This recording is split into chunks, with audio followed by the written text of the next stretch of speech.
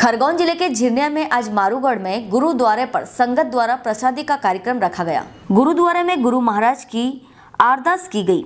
तत्पश्चात प्रसाद वितरण किया गया। इस कार्यक्रम में सभी कार्यकर्ताओं ने उपस्थित होकर कार्यक्रम को सफल बनाया। झिरनिया से सुखदीप सिंह भाटिया की रिपोर्ट।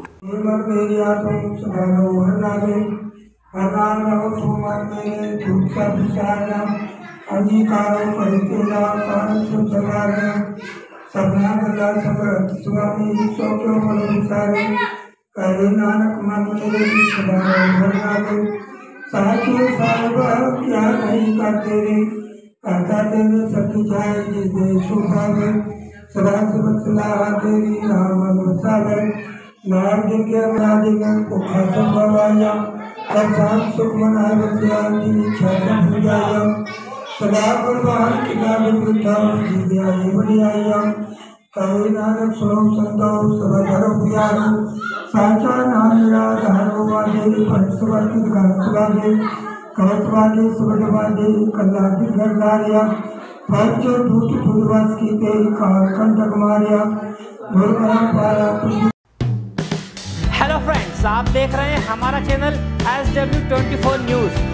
हमारे सारे वीडियो सबसे पहले देखने के लिए आप हमारे चैनल को सब्सक्राइब करें और पास में लगे बेल आइकन को दबाना बिल्कुल भी ना भूलें।